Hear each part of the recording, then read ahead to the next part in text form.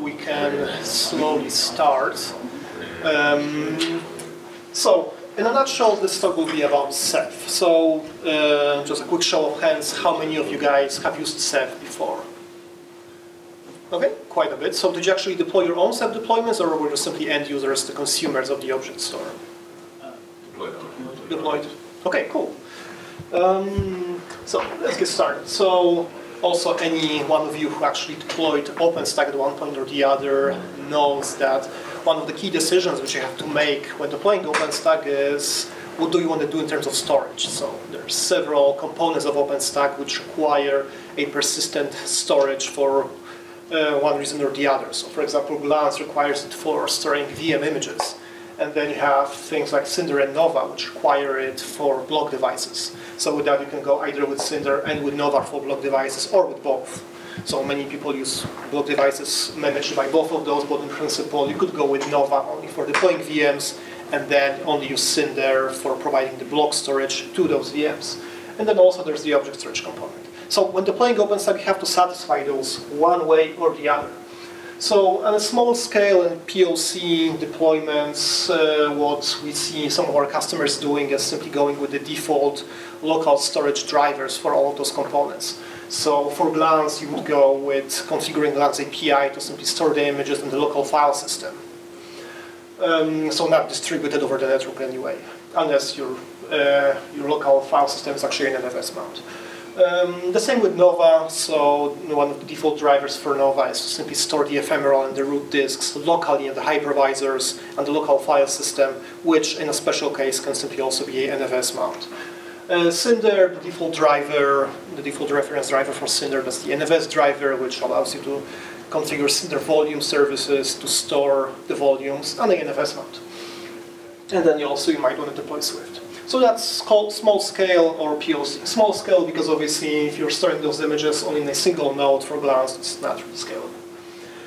Um, so for larger scale, you typically have a choice between either going with a proprietary storage appliance um, or doing it yourself. So there are some advantages and disadvantages to both of these options. So we see also quite a bit of people simply trying to solve the storage problem for OpenStack themselves. And typically what they end up choosing for that is Ceph. So uh, this is the slide from the latest user survey from April from the Austin Summit. So as you can see, Ceph is clearly the RBD driver of choice for majority of the OpenStack deployments uh, which were submitted to the user survey. So it is quite popular in other words. Well, is it free? Is it simple? Is it flexible? So many people claim it is. So um, to have a bit closer, closer look whether that's indeed the case, uh, what we will do in the next slide is we'll have a brief look at a very short case study following a Ceph admin. So for your reference, the color orange on the case study actually refers to Ceph. Okay? So that's pretty much it. Actually, one more time. so yeah, um, not so simple, in other words. Uh, okay, but why is it? I mean, there's many people doing Ceph and uh, doing really great things with it, but then again, there's also some people who actually uh, they start off start out with Ceph and actually fail to deliver on what they expected in terms of either performance or reliability. So part of the reason for that is uh, Ceph definitely is quite complex. It's flexible, but it's also a bit too flexible for newcomers to wrap their heads, uh, heads around that. Uh, so in other words, it's simply very easy to miscon misconfigure Ceph deployment. So there's many reasons for that, uh, but the one which we will be focusing on during this talk is the fact that when deploying Ceph, you talk about this thing called a Ceph OSD node.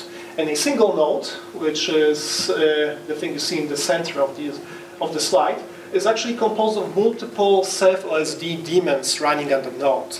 And what you typically do, that's the best practice at least, is to assign a single OSD daemon within an OSD node to manage the data stored in a single disk. So if you have four disks in your node, you will end up with four OSD daemons typically. Uh, typically.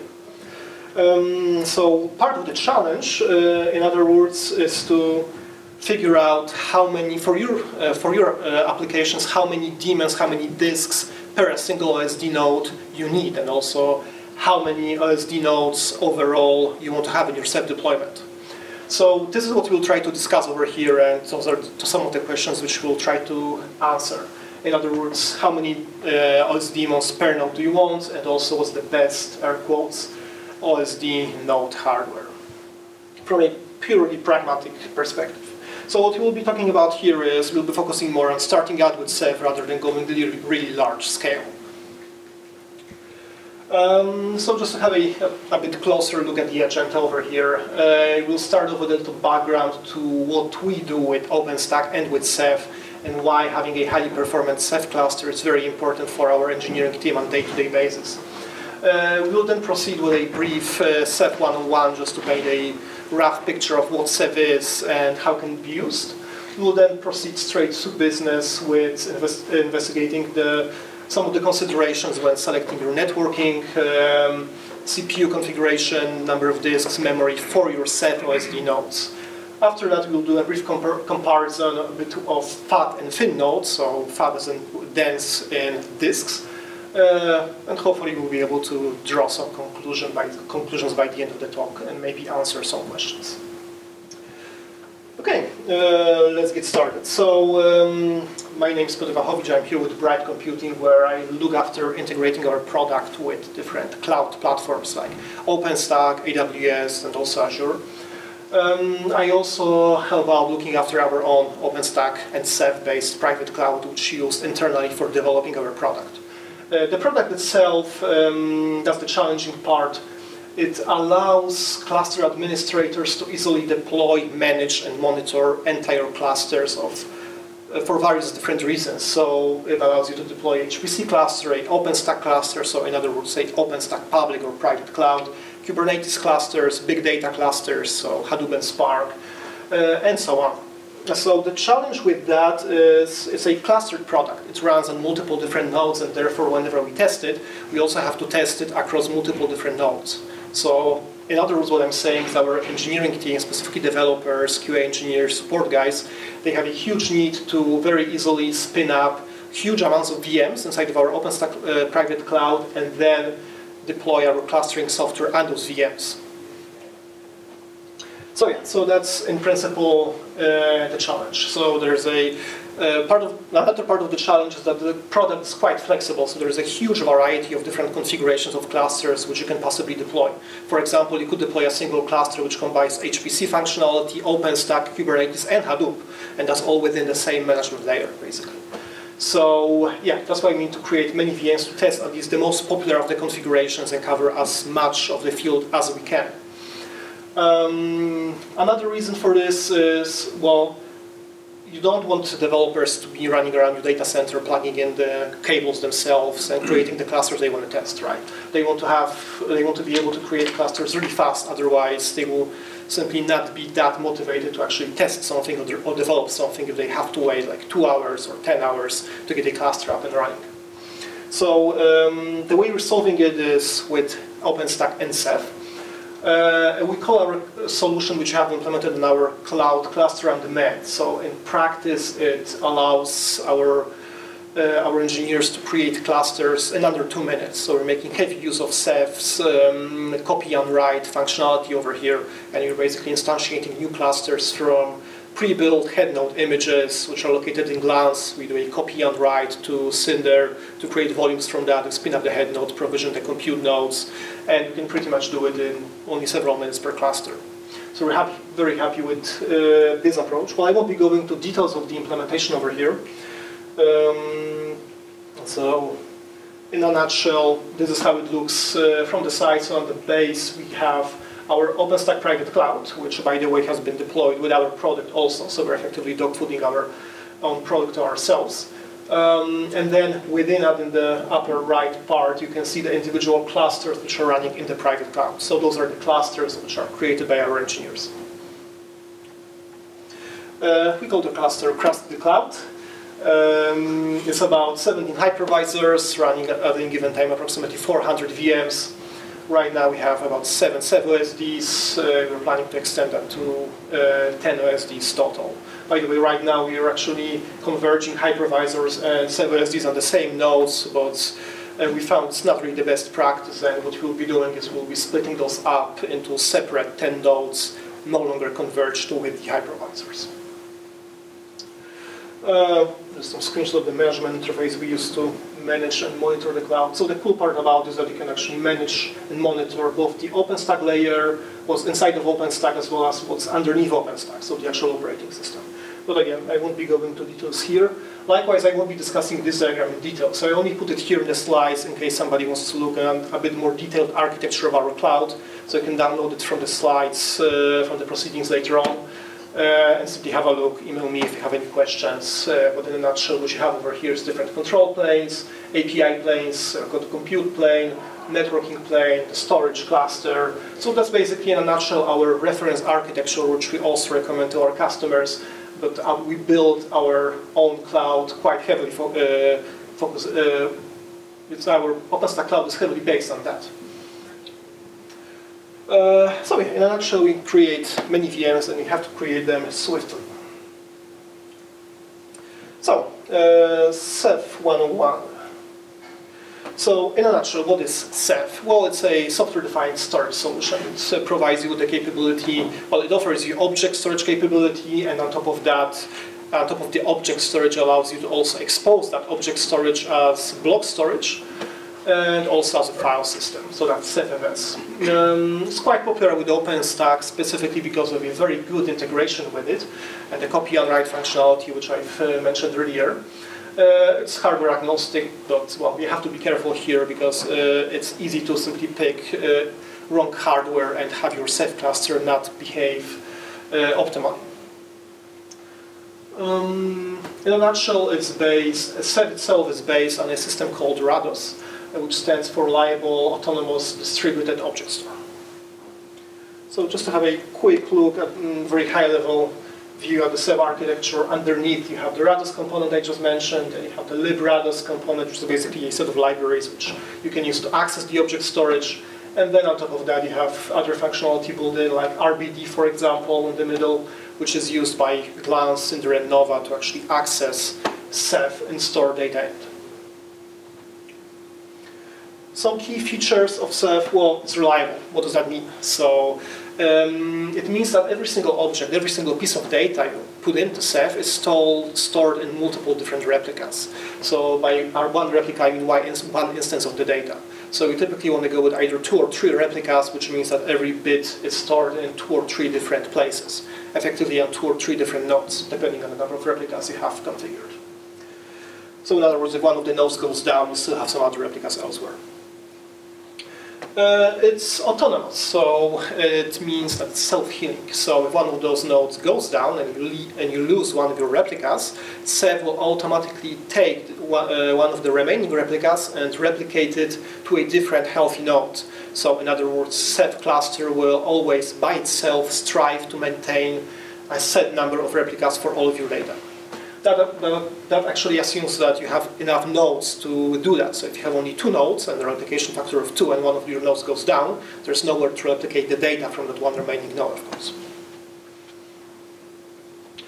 Um, distributed, so yeah, the replicas themselves by default are distributed across different nodes, but you can also configure Ceph to distribute them across racks, data centers, center availability zones, whatever is, you, whatever is your actual topology. So it's quite scalable. It can run anywhere from theoretical a single node, which is not recommended, so probably you want to have at least three nodes at the minimum, to well, petabyte scale. So CERN over in Switzerland actually uses Ceph to support their huge number of VMs, and they have been doing that quite successfully. There's actually quite a bit of very interesting talks from the OpenStack Summit down by the CERN guys, so if you're interested in learning more about that, I highly recommend that you have a look at those. Um, Another feature of Ceph is that um, the clients, uh, which want to either write or read objects from the Ceph cluster, can access the data directly without always having to go through a node which will tell them where the data is located. So the way it works is the client has to simply retrieve a cluster map from the so-called monitor node, so that's a one-time operation, and then they can use that cluster map to compute where object is located within the cluster and then contact that Ceph node directly, pull the data, or write, write the data to the node. So that's quite efficient in other words. Uh, copy on write, which I mentioned, really cool. Uh, so typically we talk about two or three types of Ceph nodes. So we have the Ceph OSD nodes, so those are the nodes which actually store the data. And then we have the Ceph monitor nodes, and those are the nodes which maintain the state of the cluster and store the cluster map. And then optionally, if you're deploying also with CephFS, uh, you also deploy Ceph metadata servers, which store the metadata of the file system.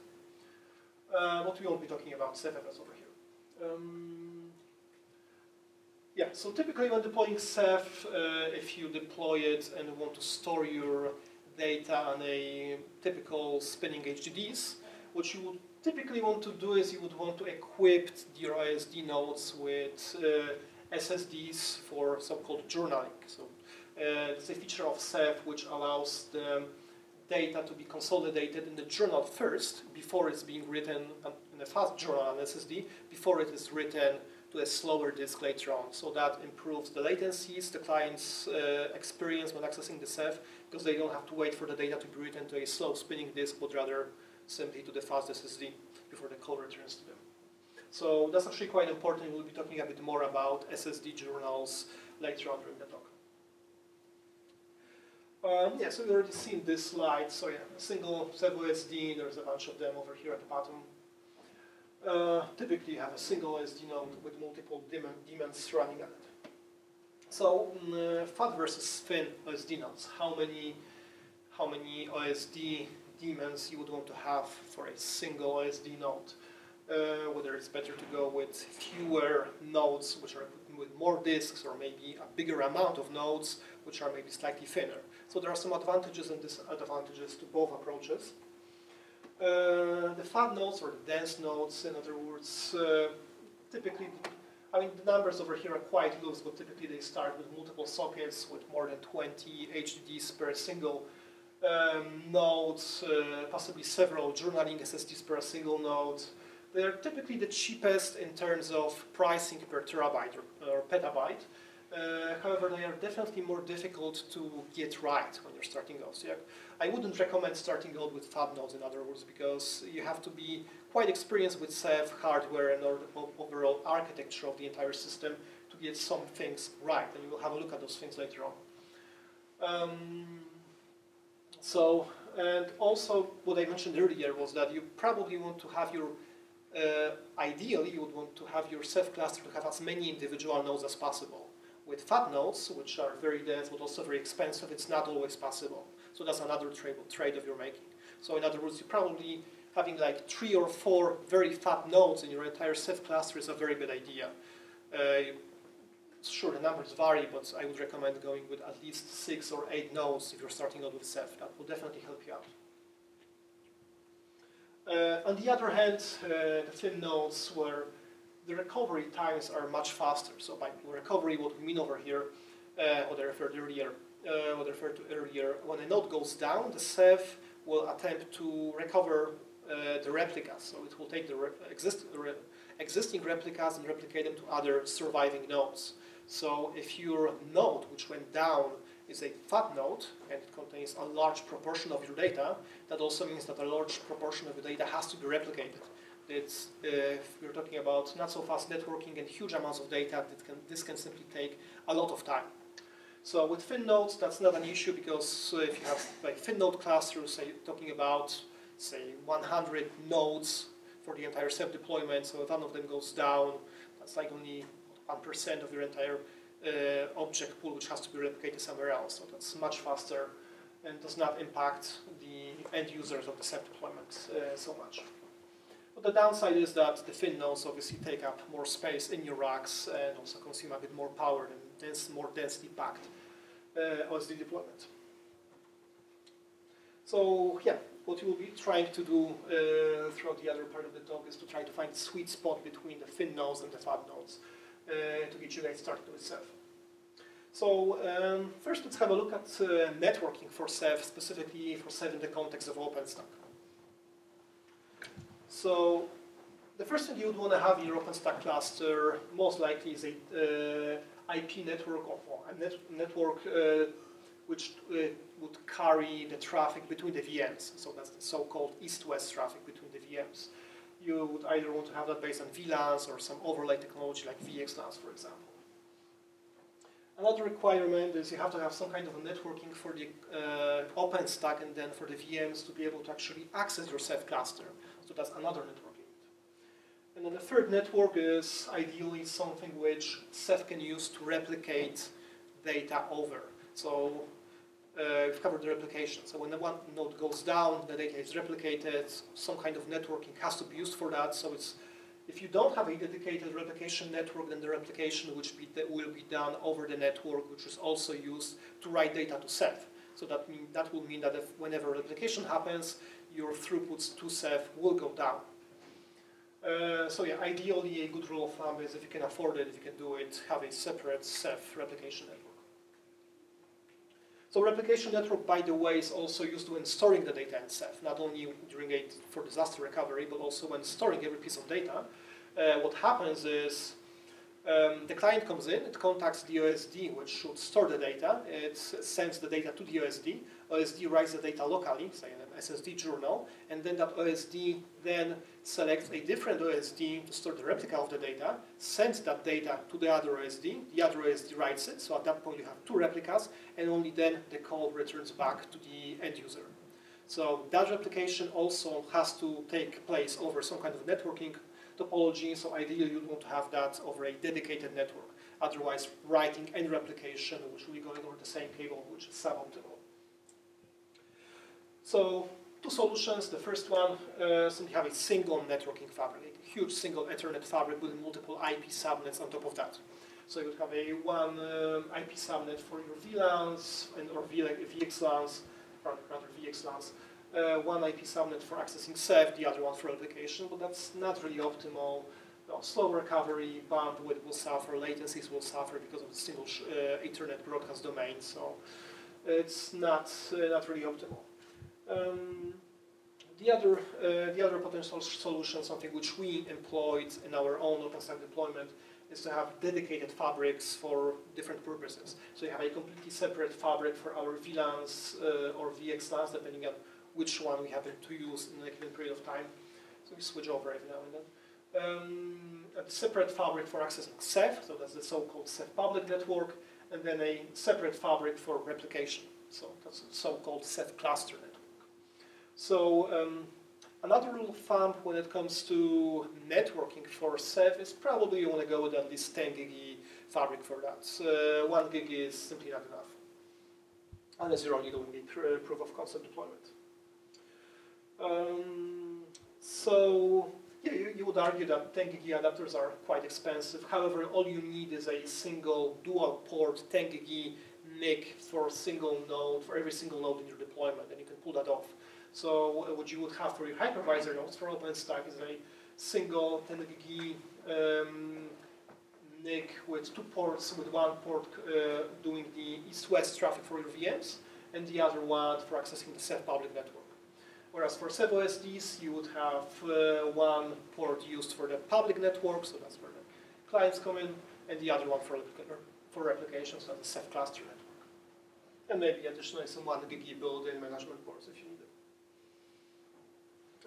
so the considerations, yeah, definitely 10 gig minimum. Uh, MTUs, uh, so everybody will tell you that you should go definitely with 9K uh, MTU for your Ceph network um, for both public and the Ceph cluster network for replication. However, in practice, we did some benchmarks, and for one reason or the other, we did not see any significant differences between running 1500 and 9K. So we haven't yet gotten to the bottom of it. Why is the case? We might have some bottlenecks somewhere else, but in our case, there simply was no difference. So in your case, before you jump into 9K, maybe do some benchmarks and see whether it actually makes any difference for you.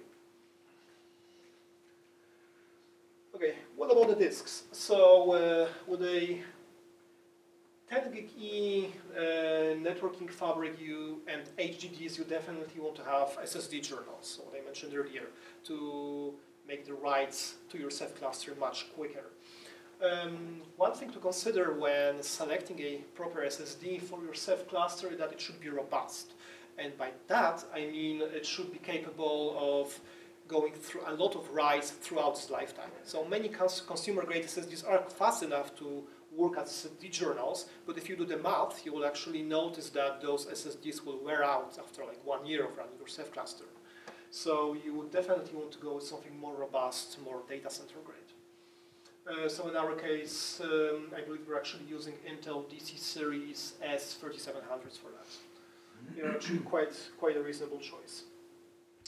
Uh, the other two bullets, so yeah, uh, as you can see with a 1 gig fabric, which effectively maps to 128 megabytes per second, you wouldn't even be able to saturate a single SSD. So that's one of the reasons why 1 gig fabric is simply a bad choice for Ceph, specifically if you're using some kind of SSDs for journaling. And with 10 gig, that's good enough to saturate a SATA SSD, um, but it's not quite good enough to saturate a much faster PCIe Express based SSDs, which can uh, sustain uh, sequential writes of up to 2 gigabytes per second. But again, that's something you have to keep in mind uh, when designing your Ceph cluster. So yeah, here's an example. So indeed, Intel DC Series S37, that's what we're using. They are capable of about 375 megabytes per second sequential writes. Um, given that, oh yes, actually that's another question. So we know that you have the SSD, and uh, that's something I didn't cover before. Probably you should have. Um, how many HDDs you want to have behind a single SSD? That's also a choice you have to make. Uh, you probably don't want to have one single SSD doing journaling for every single HDD. That would be a waste. So what's typically done is you have a single SSD which is uh, which is doing journaling for multiple different HDDs. So also picking the number of HDDs which uh, are put behind a single SSD. That's another thing which has to be considered when designing your Ceph cluster. So in this case, uh, our we have a single uh, we can have a single SSD in, in our node so that SSD is capable of 375 megabytes per second. Given that our HDDs are capable of about 75 megabytes per second of sequential writes, that give or take gives, uh, gives you a number of 5 HDDs per single SSD node. That would be a good number in this case. That's also what you'll find in other sources. Typical, typically, people talk about putting either from 4 to 6 HDDs for one single SATA SSD node. Again, the exact number depends on the performance of those. Um, so yes, we have a single SSD, um, and a single SSD is only capable of uh, approximately 3000 gigabits per second in terms of uh, actual bits which come in via the networking. So with a 10 gig fabric, in other words, what you could do is you could easily have three SSDs per single node, and that still wouldn't entirely saturate your 10 gig fabric. And then behind those three SSDs, you would have 15 HDDs total, so 5 HDDs per SSD, and that would be a typical uh, optimal hardware configuration for this uh, particular hardware. But again, your, uh, your numbers will vary depending on what hardware you choose to use. So next one up, uh, how many cores would you need for such a cluster? So let's talk a little bit about uh, CPUs in the context of Ceph. Um, so one thing which you should definitely keep in mind when um, deciding on how many sockets you want to have for your nodes is the fact that if you go with more than one socket, you will most likely enter NUMA territory. So NUMA stands for Non-Uniform Memory Access, and effectively it means that a uh, single CPU has fast access to only some of the memory banks, but to access other memory banks in the system, it has to go through the so-called QPI bus to the other socket, and uh, as a proxy from there, only access uh, the other memory banks. It also impacts communication the, with the PCI Express devices because those typically are also assigned to a specific, uh, spe specific socket on the motherboard. So if you're Ceph OSD, so if you have two sockets and you have um, your NIC, your 10 gig uh, PCI Express NIC uh, pinned to one of the sockets and you have your Ceph OSD on the other socket. When the data comes into the Ceph OSD, it goes through the NIC, through the one socket, through the QPI bus to the OSD, and then probably back through the QPI bus to the SSD on your PCI Express. So that's create, that creates a lot of potential for bottlenecks, especially if you're talking about running like uh, 40 OSDs on a single node. So there's a really amazing talk uh, which focuses on NUMA in much more detail It was done at the Austin Summit by the guys from Comcast, I believe. It's called Designing for High Performance at Scale. Definitely worth checking out. Uh, they dive into NUMA in much more detail than I would be able to do over here. So yeah, for now, let's consider that if you want to just start out with Ceph, you don't want to mess with NUMA, you don't want to mess with pinning your OSD to specific uh, CPU sockets and all that, a safe choice would be go to a single with a single socket motherboard. So let's stick with that for now. Uh, single socket, so how many cores for a single CPU do we need? Well, another rule of thumb is that you probably want to have a single dedicated core per OSD, so per OSD daemon running on your node. In other words, if you have 10 disks, um, you would want to have 10 dedicated cores uh, for only for OSDs, which one core per disk, so one core per OSD daemon. Um, yeah, that's pretty, pretty, pretty much covers that.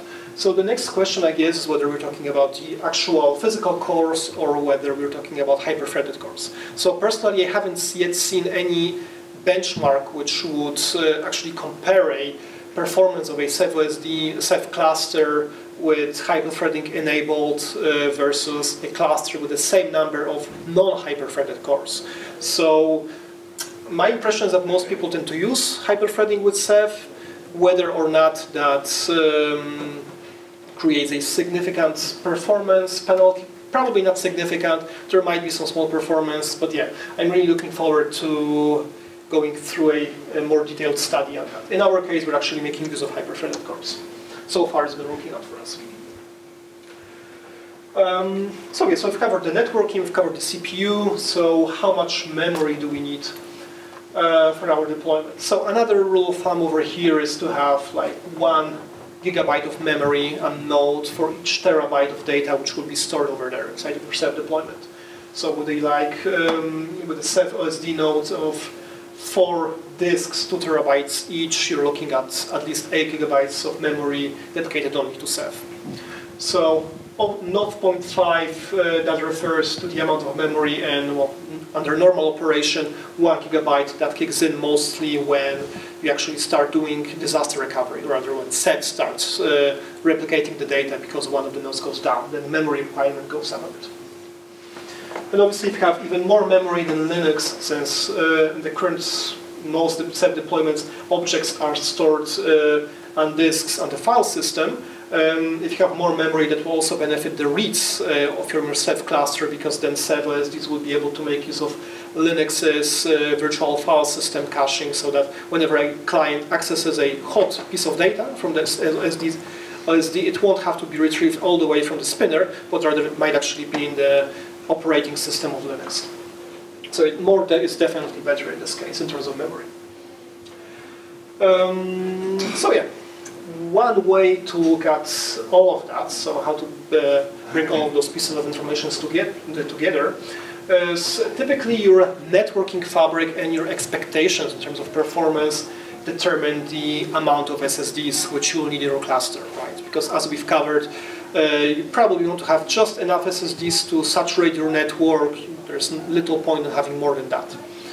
Um, in turn, the number of SSDs and their performance will determine the amount of HDDs you, want to have, you will want to have per each single node. And also another factor here is, of course, the performance of the HDDs themselves. So, as discussed, you would want to have the sequential writes of SSD match uh, the sum of the sequential writes for HDDs which are backed, uh, uh, which are behind that particular SSD. Um, the number of HDDs in itself determines the amount of cores you want to have. So, like we said, you probably want to stick with a single socket to get started. And then uh, the amount of the HDDs as well as their size will effectively determine the amount of memory which you should put in to your Ceph OSD nodes. But yeah, uh, the main takeaway from here is that this is a gross oversimplification. There's obviously quite a bit of other factors which you should also put in uh, into consideration when architecting your Ceph deployment, but that's simply one of the many ways in which you can look at it. The other one, for example, would be you might know from upfront whether you want to optimize for performance, in which case you probably want to have thinner nodes, or maybe whether you want to more optimize for costs, in which case you want to go with a more dense, fatter nodes. But again, that all depends on your, uh, your budget and your expectations. Uh, so we're actually almost at the end by now. So uh, in this slide, what we're doing is we're comparing those five columns on the right. We're comparing five different hypothetical Ceph clusters. So all of those clusters have the same capacity. Uh, what varies is the type of the node uh, of the of the Ceph OSD node. Uh, so we're going from unreasonably thin nodes through thin, pragmatic, regular, all the way to fat nodes. So as you can see in the first row, the total number of uh, hard drives in the Ceph cluster is constant, and all of those Ceph clusters is constant. So that's 96 hard drives for the entire cluster. It doesn't really matter what size they are uh, for this um, for this slide. So just 96 hard drives for every single cluster. Now, what differs, that's the nodes total, uh, is the amount of nodes you have per cluster. So in the first example, we're considering putting a single hard drive per node. So that's why that's the unreasonably thin configuration. That's pretty much wasteful. Uh, but we have it here for the purpose of comparison. Um, in the thin uh, cluster, you, you're uh, considering having 16 nodes, each with uh, six uh, disks per node. In the prag more pragmatic cluster, we're considering having eight nodes with 12 HDDs, or a nice small variation, only 10, but I will cover that later. Um, the regular cluster that would be like six uh, nodes for the entire deployment. So six is in yellow over here because we're entering a territory where recovery will take a lot of time because single node going down constitutes a huge part of the entire deployment and therefore the recovery times will grow. And then in the fat cluster over there, what we have is only two nodes, each equipped with 48 HDDs. So you can imagine 4 U units over here. Um, for journals, the first one, you go with a single journal, so again, pretty wasteful. One SSD, one HDD, pretty wasteful, but you could in principle do that. And it's actually usable if your priority is latency, right? So if you don't care about the fact that you're wasting sequential write bandwidth, but your priority is um, write latency, then that is a viable configuration. But in that case, you might as well go with a SSD-only storage without any HDDs altogether and without any journals. Um, for the thin cluster, we have six HDDs backed uh, uh, with a single SSD. For the more pragmatic cluster, for those 12 HDDs, so we have two SSDs, so that's one SSD per six nodes. Regular cluster, three SSDs, and the fat nodes, we have eight SSDs per node. Uh, so probably I, should also mention that uh, for all of those clusters, we're assuming that um, the sequential write speeds for the SSDs is approximately 400 megabytes per second, and that the networking fabric is a 10 gig network. Um, yeah, so what you will uh, notice straight off the bat is that uh, the SSD bandwidth per node line, and uh, for the fat node, that's 25 gigabits per second. So that far exceeds the capability of the networking fabric, right? So that tells us that if we want to or need to go with fat nodes for whatever reason, we have to definitely consider the network capacity because in this case, those theoretically, this theoretical cap of 25 gigabits will be simply throttled by the 10 gig fabric which we'll have in place. So in other words, we're simply exceeding the network capacity over here. Um, going back from the fat node. For the regular node, we're actually quite on point with three SSDs, each capable of uh, 400 uh, megabytes per second of sequential writes. We actually go to 9.6 gigabits per second, so that's pretty much almost at the limit of our networking. So it's a pretty good solution in terms of utilizing your networking. And going more to the left, the pragmatic node actually underutilizes uh, the networking with only 6.4 gigabits per second uh, theoretical peak sequential writes. And uh, further to the left, for the thin node with only a single SSD, that's only 3.2 gigabits per second. And again, with the unreasonably thin node, that's also only 3.2 gigabits per second. So yeah, maybe let's also cover the rack space. So when the going from left to right for the unreasonably thin node, uh, we can do with a single 1U unit for every node. That's, that would be perfectly enough. Then moving on to the right hand side for the thin nodes, that will start depends on whether we're talking about two and a half or three and a half disks. So if you're talking about two and a half inch disks, which are well, obviously more expensive than three and a half inch variants, oops, excuse me a minute, yeah, there we go. Um, for one for two and a half inch drives, you can probably fit all of those seven disks in a single one U chassis. Uh, but for if you're talking about three and a half inch uh, drives, you'll probably have to look at a 2U chassis for, the, for those uh, SD nodes. With the pragmatic node, um, we can go with, uh, we're free to go with the cheaper three and a half inch uh, discs and easily squeeze them into a uh, two and a half chassis and also have more of those than in the previous configurations for the firm cluster. Moving up to the right hand side, um, for the regular cluster, again, uh, the choice between two and a half versus three and a half inch drives. Uh, for 16 HDDs plus those three SSDs, you would have to go with, uh, if you want to stick with 2U, you would have to go for two and a half inch drives. If you're going to go with three and a half inch drives, a bit cheaper, then you would have to go with a 3U chassis. And then the fat node, 48 disks, that's probably probably a 4U. Not sure there are any 3U chassis which can handle that. Maybe they are, but yeah. Um, so yeah, so which ones should you choose? Well, like we said, you probably want to avoid the fat nodes for various reasons, specifically the requirement of having like 48 cores over here, so even if they are hyper-threaded, you're probably looking at multiple CPU sockets and therefore NUMA anyway, so you'll probably want to stay away from this one. Also, for this cluster, uh, we would have only two Ceph nodes, so that's obviously very bad because if one of them goes down, then the other one does not have any place to replicate the data. So you only remain with a single copy of your data, and if that second node goes down, then you don't have access to your data. So that's obviously bad. Um, and you would actually think that nobody would be so stupid to try to deploy two Ceph, uh, two node Ceph cluster, but actually I did see a RF, uh, RFP at some point which considered deploying a OpenStack Cloud by, backed only by two OSD nodes. And the best part about this is that uh, those two OSD nodes were actually in two different regions. So we imagine the geographical latencies over here writing the data. So that's, I don't know how far that, that one got, hopefully nowhere because it's completely unreasonable. Uh, so what I'm saying is if you want to go with uh, optimizing for storage, for, uh, for cost with fat nodes, you definitely want to make sure that you have enough funds to actually start off with at least like six or ten of those fat nodes and a really beefy networking fabric. So we definitely don't want to go with the fat nodes. We definitely don't want to go with the unreasonably thin because it's so wasteful. So we're, uh, we're left with selecting our cluster between the thin nodes, the regular ones, or the pragmatics. Well, the names are somewhat arbitrary. It doesn't matter, but you get the point. Um, so um, which one you want to choose somewhat depends on your requirements and performance expectations, also on your rack space, uh, power capabilities, and all of that. So there is no single answer over here. My personal preference would be go with a pragmatic approach.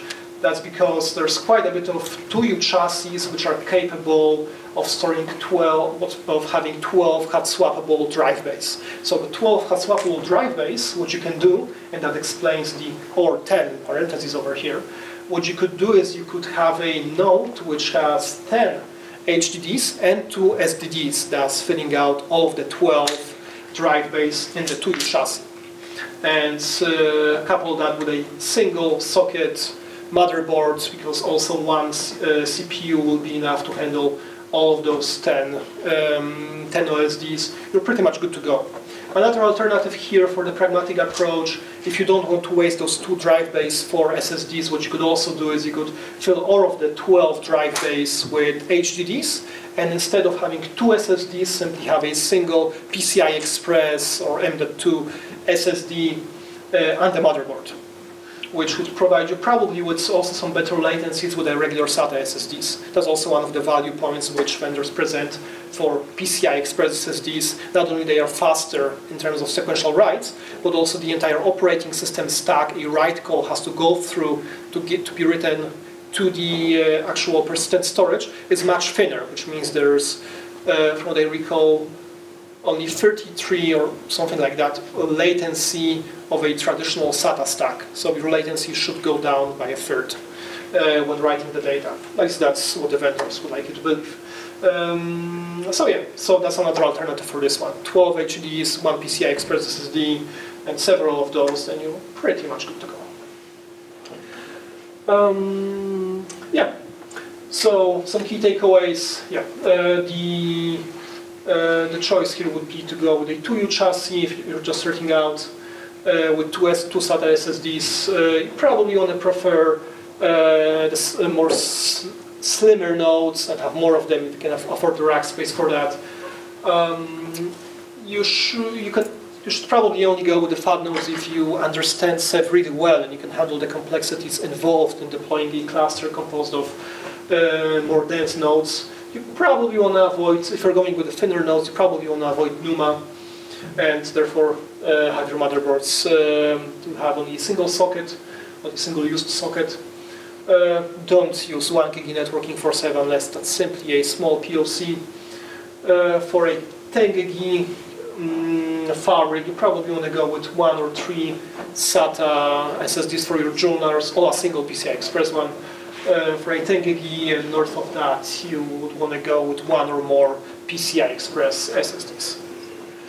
Um, yeah, you should avoid small clusters in general, regardless of whether you're doing small nodes, uh, slim nodes, or fat nodes.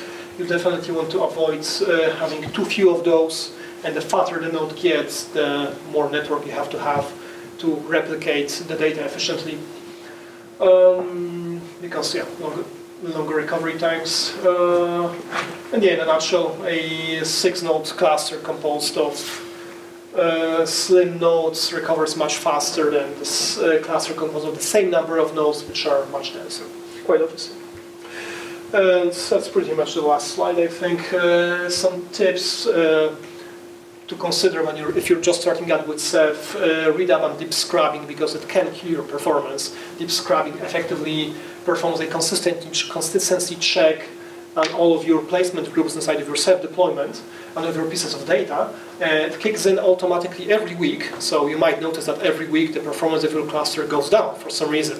So that's what it's scrubbing for. You can disable it, you can tweak it, you can spread it over time.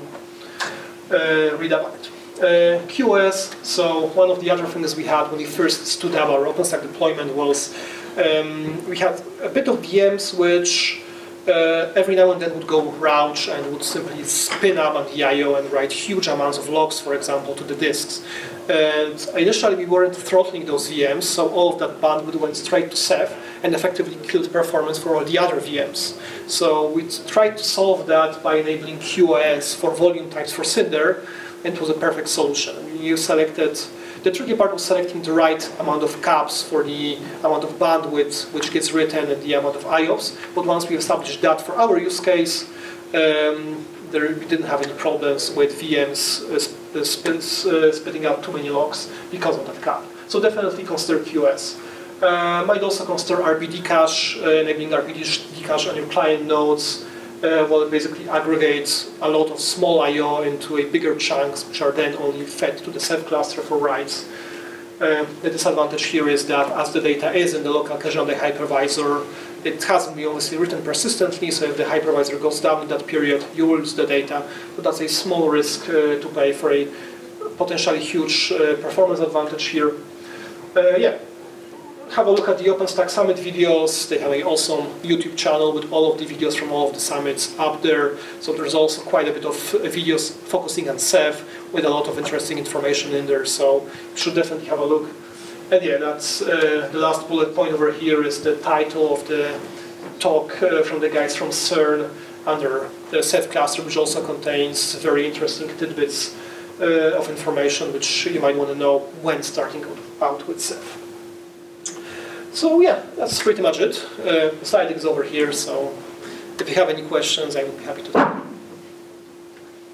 What sort of use cases would you um, sort of consider Ceph uh, generally just as a sort of storage uh, sort of solution? Uh, so typically we consider uh, as a storage, consider Ceph as a storage for OpenStack. That's how most people actually deploy it.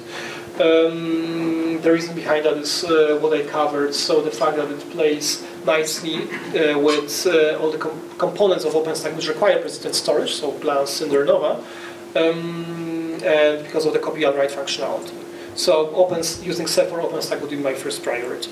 But that, that's just me. I there might be some people out there who simply require an object storage system and don't really run OpenStack, in which case Ceph is also a good, uh, good choice.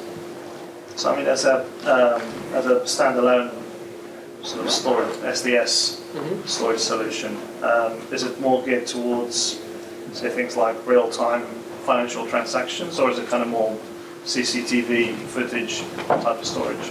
more like CCTV, because I mean, with any network storage, you will have some latency, right?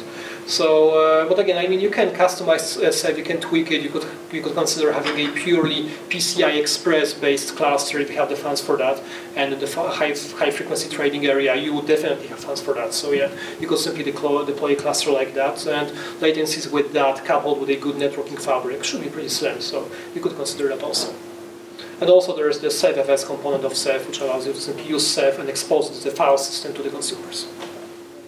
Okay, there were some other questions there. Yeah, so assuming you keep to your kind of ratios of OSDs to hard disks and to SSDs, how will the Ceph cope with a kind of non-balanced or non-homogeneous cluster of thin, flat, mixed nodes? Pretty well, actually, pretty well. So you don't have to have your entire cluster composed of identical nodes. You can mix it up in any way you want. Uh, what I try to highlight during the talk is the fact that if you have very few very dense nodes, that's simply a bad design choice. But it's perfectly fine to have several very thick nodes and then several thinner nodes. And is it the number of OSD nodes that Ceph sees from a particular server that will kind of affect how it's balancing the load across those? Uh, well, you can configure that. So you can assign weights to the SSD. So you can, for example, say, okay, I want to store more of my data on this particular node, maybe a bit less on this one. You can, you can also configure how Ceph spreads the data across units like racks, uh, chassis, uh, data centers, AZs, and so on. So that's all configurable. Have you done a, um, a storage upgrade where you've added nodes or added capacity? And how does that affect sort of the operation of the cluster? Um, so the last upgrade we did, we actually, uh, that was a cre- uh, clean reinstall in practice. So I, I wouldn't be able to tell you what, what would happen in practice if you were to do it on a live system, uh, but I know that it's doable. So I, what I would suspect happen, um, Ceph might actually try to re- start rebalancing the data to the other nodes, yeah. Uh, but we actually have a solution to that, and um, in our self-management system, what we have is the capability to, when you add a new node to a Ceph cluster, you initially assign a weight of zero to it, so that no new data is rebalanced to it, and then our system gradually over time increases the weight, and so more data is pulled from the other nodes and fills up that particular node due to the rising weight. So that's our way of dealing with it. It's simply part of the solution we use for managing our Ceph cluster. It's also available to our customers. Uh, is that question over there? I was going to say, you mentioned at Yeah. the beginning of your talk about big data, and um, I wondered whether you'd had any experience of people running things like HDFS on top of Hadoop. Uh, so- sorry, on top of. I know it sounds absolutely insane, but we're a, a public cloud provider, Mhm. and a question that we get quite a lot is, you know, how can we deliver these type of workloads? Let's take this offline. I think one of my colleagues actually encountered that in practice. He's more in the big data team, and I think Okay, they've, cool. uh, they've, uh, they've seen that. So let's talk later. I'm assuming you could just probably confirm this or say it's nonsense. Um, because Ceph does a replication for you, and because it's got the it's front end of the SSD caching, I'm guessing there's not much use for RAID at all system. Correct. Mirroring or striping. Correct, correct. I mean, typically, uh, another rule of thumb with Ceph is to simply not use RAID because it's simply wasteful and not really needed. It might actually be harmful in some cases. it. Yeah. Yeah.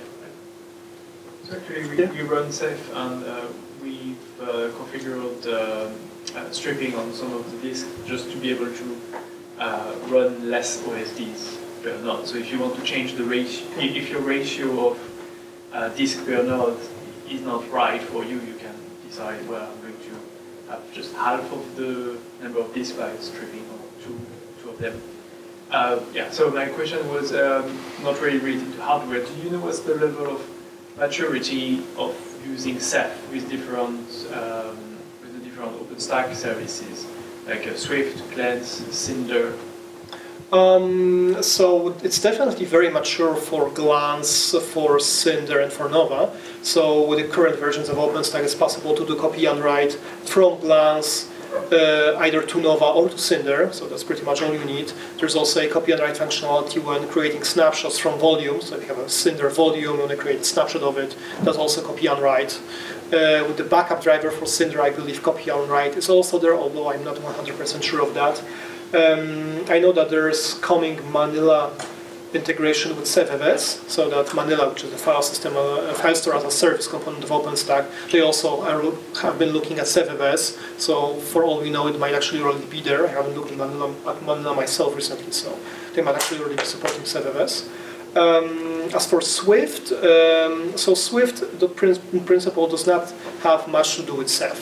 And when deploying OpenStack, you typically either deploy uh, your object store for your customers by deploying Swift, and in that case, you're probably not doing Ceph, because Swift actually in itself as a component is very similar to what Ceph does. It's also a distributed object store.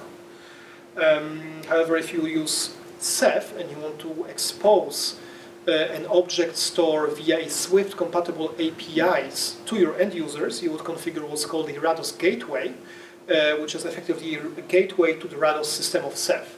Uh, compatible with S3 and Swift APIs. So your customers will talk to that gateway as if they were talking to a Swift deployment. So typically when you, when you want to use Ceph for your block storage, you probably don't want to deploy Swift and rather simply deploy Rados gateway to offer the object storage capabilities. Can you, Okay, last question. sorry, are those gateways deployed on the actual Ceph servers themselves? Mm, Or do you, do you have another tier of servers? Uh, I think you can do both. Yeah. So that depends on your requirements. Okay, so we're out of time. Thank you very much.